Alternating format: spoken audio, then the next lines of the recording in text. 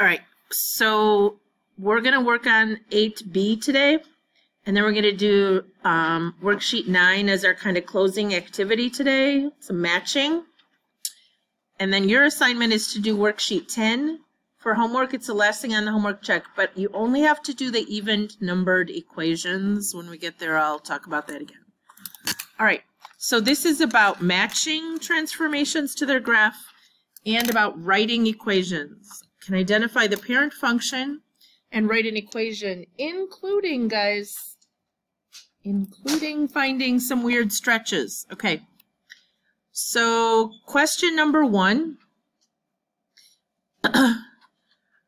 what is the parent function? This is on worksheet 8B. Has everybody figured out where I am? This one is numbered one, okay? Equation number one. What is the parent function for that?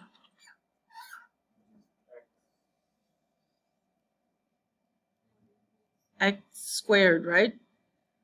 Okay. So what has happened to the x squared?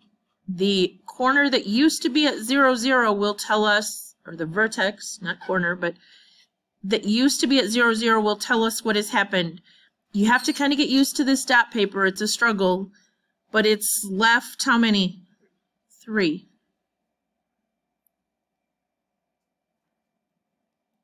How do I put in a left three?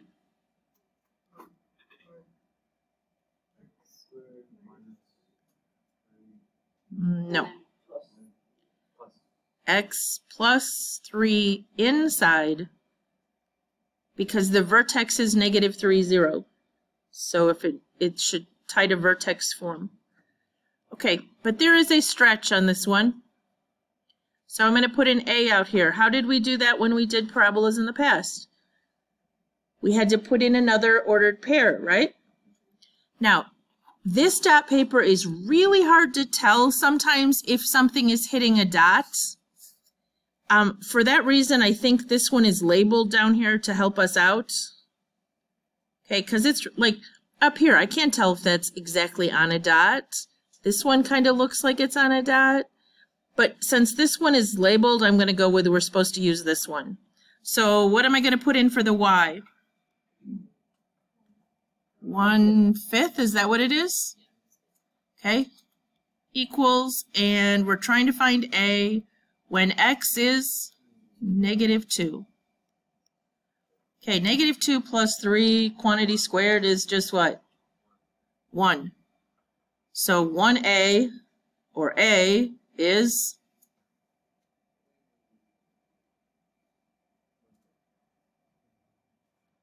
1a is 1 fifth. So we just have to plug that in back up here. In our equation, please use y equals or f of x equals. Don't just write an expression. It is an equation, meaning it has to have an equal sign, okay? 1 fifth x plus 3 quantity squared. Could we type that in our calculator and set our window to look like this and make sure it looked like this if we wanted to? We certainly could and make sure it was going through those points, okay? All right, question number two is the parent function is just a line, right? We have another recycle bin over here. I don't know if anybody could take that one too. I'm sorry. Kids have been throwing stuff in this one, I think. Okay, I will put a sign on it. If you want me to just dump it in the garbage, I can do that. Okay. Yep.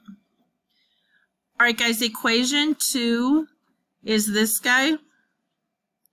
It's just a line. So we really want just y equals mx plus b form. So can you figure out what the slope is by counting the dots? Ugh. Well, that looks like one. And this looks like one. Down one, two, three, four, five, and over two. Okay, try that one more time to make sure it's working. Down one, two, three, four, five, and over two. That seems to be working, okay? So it was going down five and over two, so the slope is negative five halves. And then what is the other thing if we're using slope intercept? We just need to know the y-intercept, which is positive 6. So we put a plus 6 on the end and we're good.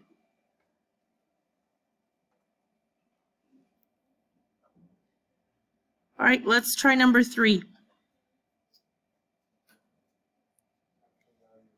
Okay, it's absolute value of x. And a is going to turn out negative, but we don't need to even worry about that. First, let's figure out it used to go through the origin, right? So it's now shifted which way? Right, 5 and up, up 4. How would you put those in?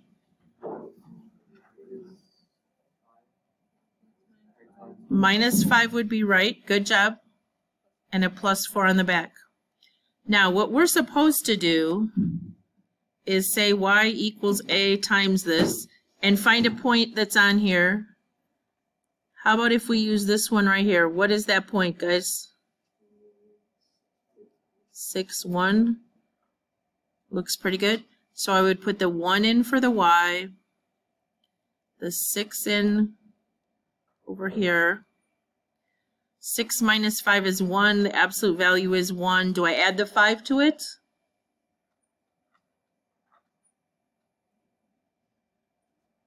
All of this is multiplied together, right? But not the plus 4.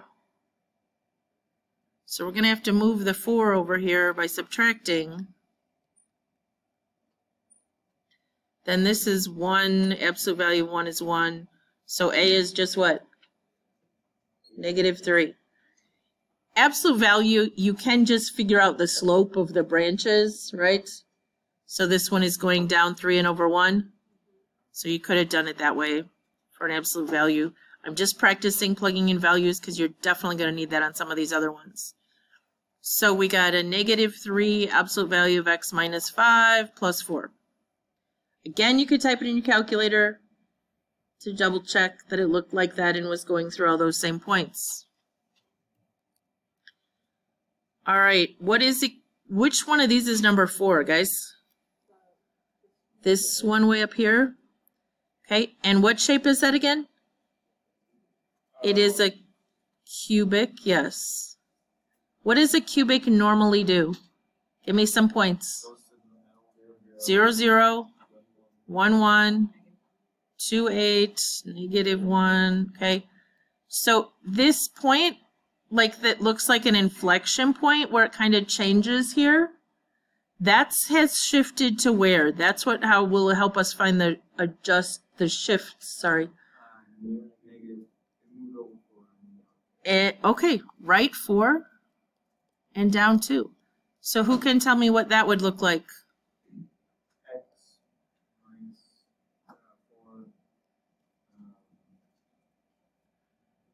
You said down two, right? Yeah, it is cubed. Thank you. Okay. And we need to figure out if there's a stretch. Um, can we do this dot? Is this right on a dot or not? Is that six, six? Okay, six equals a times six minus four cubed minus two. And that two we need to add over to the other side at some point, sooner or later, because this is all multiplied together. And what would we get there? 6 minus 4 is 2. 2 cubed is 8. So A is just 1. So there is no stretch. We were right when we just said x minus 4 cubed minus 2. The stretch is just 1. It's normal. Were you okay? And if you looked, it did go over 1 up 1, over 2 up 8. So we could have figured it out. Some of you are going to be faster at these than others. Number five, who's the parent of that thing over here? Square root graph, very good. Normally it goes through 0, 0, 1, 1, 4, 2. So it's definitely shifted. How do we figure out how far left and down? Yeah, we count that little point right there. Is it five, six, seven, eight left. And negative six, maybe? Okay, who wants to put that in? Square root of x plus 8 minus 6. Very good. All right, so we have y equals a times this minus 6. Uh, can I go that one? What do you think? That looks pretty good to me. This is what I'll tell you guys. If you plug it in and it doesn't come out nice, like a square root, then it's probably not exactly on the dot. I I thought negative 5 would work, but I don't think it's going to work. Is it? If I put a negative 5 in here, I'm going to get square root of 3. Maybe that one's not right on. Is this one? Negative 7, negative 2?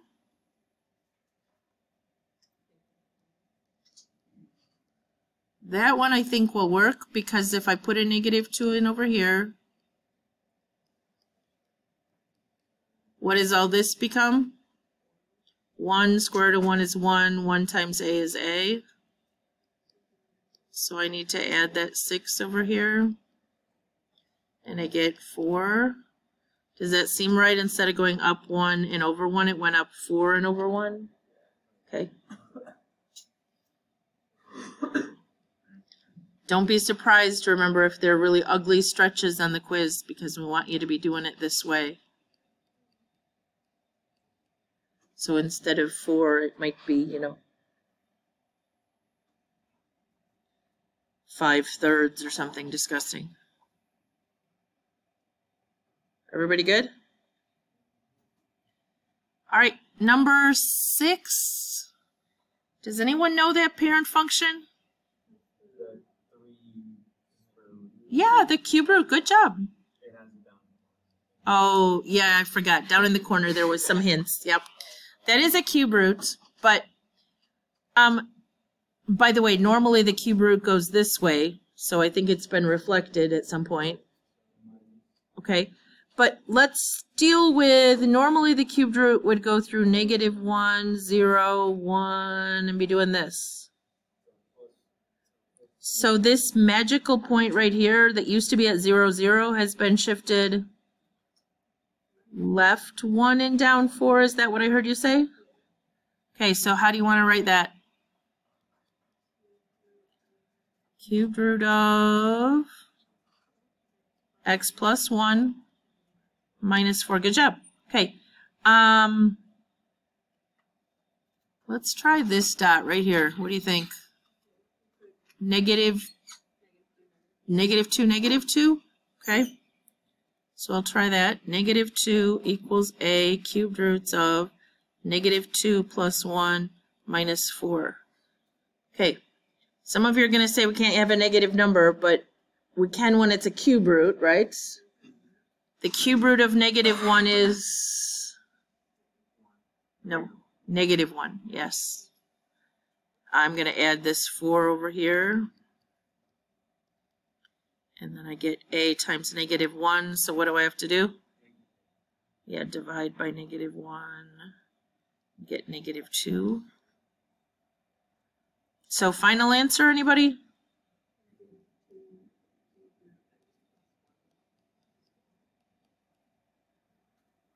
Okay. Is that all of them on that page? Okay. Before we finish up today, we're going to maybe do a tricky one off worksheet 10 that you have to do, okay? Because there's some reciprocal functions on that page.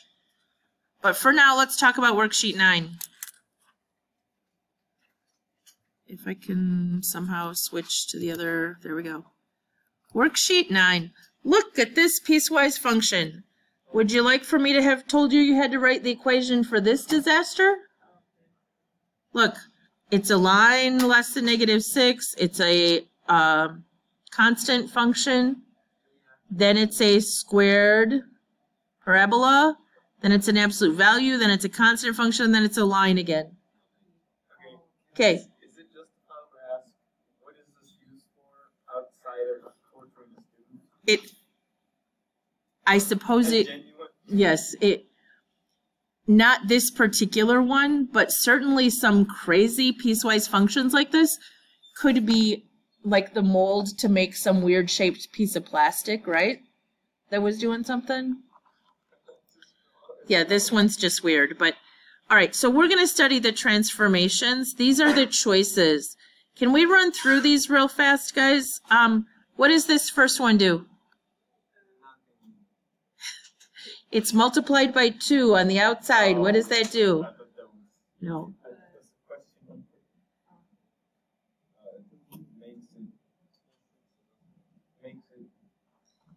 Is it on the y or the x, guys? 2 times f of x, which makes the y's go up twice as much. Yes. So it's a vertical stretch. Um, no. It, well, it might look thinner, but it's just going up faster. Yes. This is also a vertical stretch, so we'd have to decide which is it going by two or three. This one has two things. It's what, what's this one doing? Yes, so it's compressed towards the x.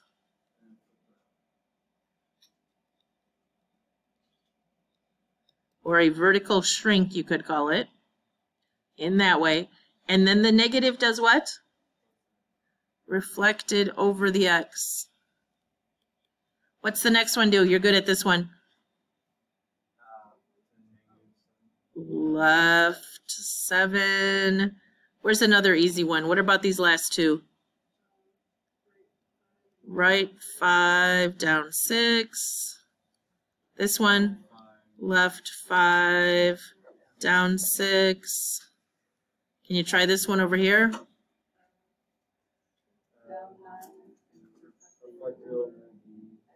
Yes, in that other order though. It's reflected over x and then shifted down nine. Anybody know? The negative inside is reflected what? Yes. It's an absolute value. So this is reflected over the y-axis, so flipped left to right. And then do you, do you remember what the thing does inside? That's the crazy one. The absolute value inside does. Sorry. Yes.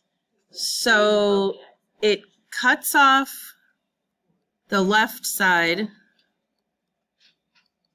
and then it makes it symmetric with the Y. Do you remember? So if I had this was my graph, it would cut this whole half off and then do that. Okay? Um, that's this one, by the way. What's the negative do on the, or the absolute value do on the outside? Yes, it has all the y's positive. Okay. Now, these are the two I'm really worried about. This is a horizontal something to the x's, but it's the opposite of what it seems because it's in the parentheses. So this is not stretching, it's what? Shrinking or compressing? Which way? Yes, it's changing it horizontally, so it's compressing it in towards the y-axis. It changes the x-intercepts, not the y. So this one is going to stretch it out away from the y. Stretch it left to right because it's changing x-intercepts. All right, Here's the original function, here's number or letter A. Can we figure out what it did? I think, look at, all the x intercepts stayed the same, so it's not an x issue, it's what? It's a y issue, a stretch. Okay, it used to go up to what? Maybe four, question mark? And now it's going up to maybe eight question mark. So two f of x. Okay, definitely not three, right? Because it didn't go above 10. All right, B. That bad boy is upside down. You think squished? Yeah, it used to go up here to four, right? But now it's only going down to like negative two. So yeah, compressed a little bit vertically though, right? So negative one half f of x. See? Mm, Yes, the absolute value and then f of x inside the absolute value. Because the y's are all positive. D, it doesn't really look like a size change, does it? Shifted, is it left six? Is that a choice? Just left six? It is? Oh, left seven? Wasn't that the choice? Left seven up here? Cause yeah, I can't really tell, but that could have been seven and then it's shifted. So left seven is f of x plus seven. Good call. Um, now we're on E. Ooh, what happened here?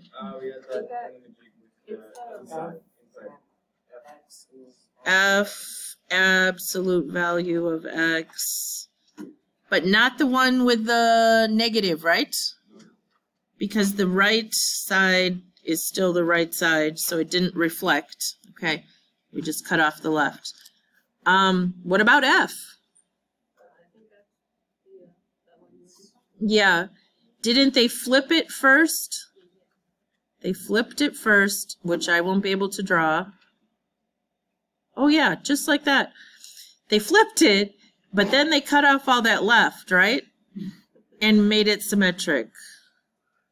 So that one is this. Yep. I wouldn't put that on a quiz. All right, what about this guy?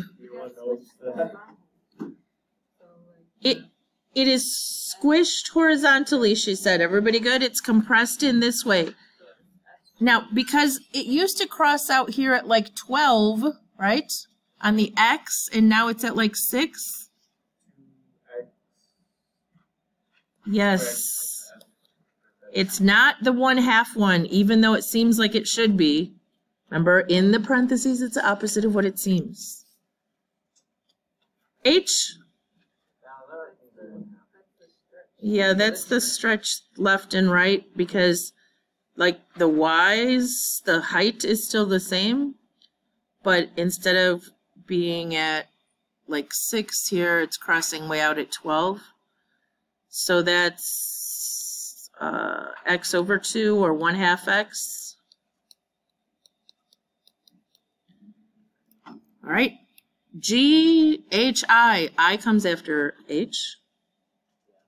Sometimes. This is looking upside down. Which ones were upside down?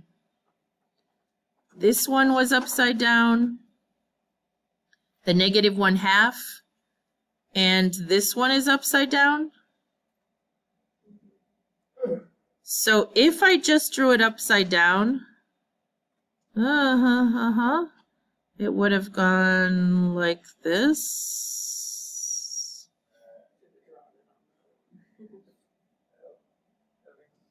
Okay, would have gone like that. But it's also slid down. It used to have an intercepted zero zero. Does it look like it might be at negative nine now?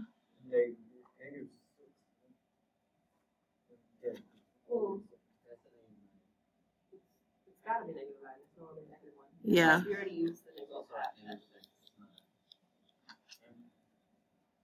Are- Are we talking about the y-intercept? It was at zero zero, and here's almost to negative ten, right? All right, J. I think all we have left are the like left, right, up, down jobbies. What did this one do? Down and to the right?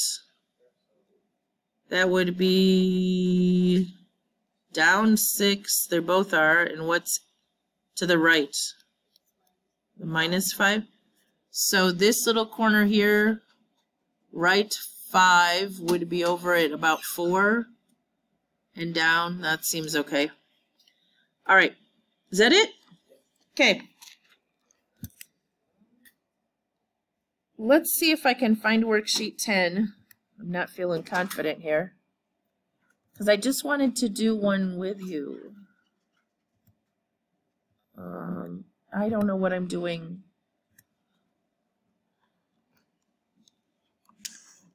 Go to the back of worksheet 10. You only have to do the even numbered equations. I think, is that ones that are circled?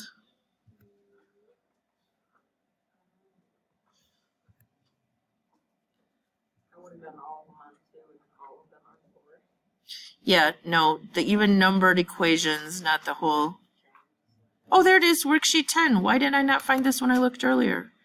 Okay, worksheet 10.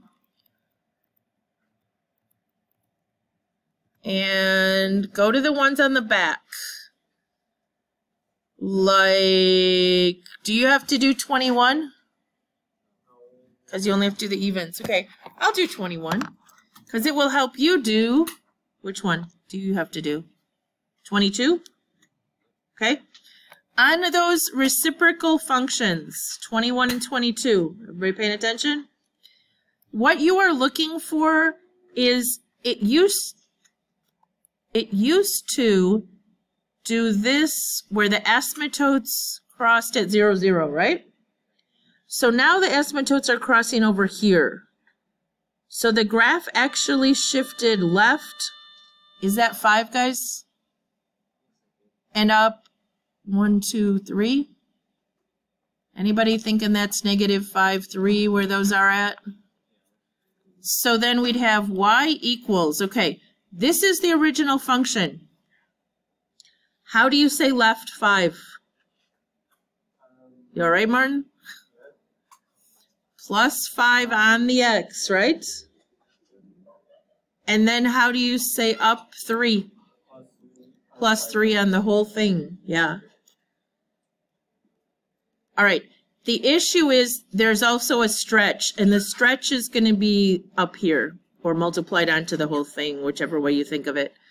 So somebody figure out that ordered pair right there. Negative four, six. Yes, no? Negative, what? Negative five, five, really. Negative four, five? Okay, so if I put in negative four, five, I would have five equals A over negative four plus five plus three. So what is A? This is all one divided into, by A is just this. A is two. So final answer for that one would be 2 over x plus 5 with a plus 3 on the back. How about if you work on 22 right now while I'm here to help?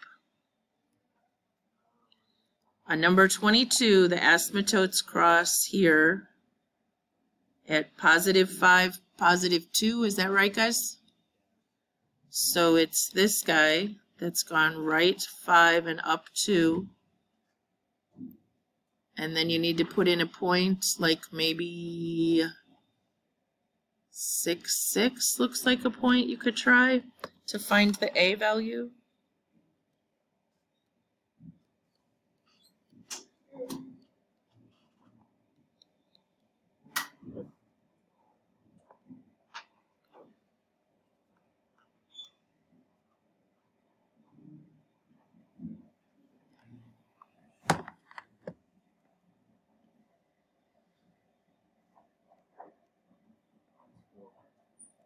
Is it one? I don't think it's one. Four? Right five would be minus five, up two. And then I said try six, six, right? Six minus five is just one down there. Yeah, so if you subtract two, you get four. Because this is just one. So where are you writing that on 22 here? y equals 4 over the quantity x minus 5 with a plus 2 on the back. All right, is there anything else that looks confusing? Did we do one of every kind? I don't think we did a square root today, but, well, yes, we did. Didn't we do one square root one? We did a cube root, we did an absolute value. Okay. I don't know why this says you may skip one through three. I think I only made you do two anyway, didn't I? Yeah, you can skip one and three. Uh.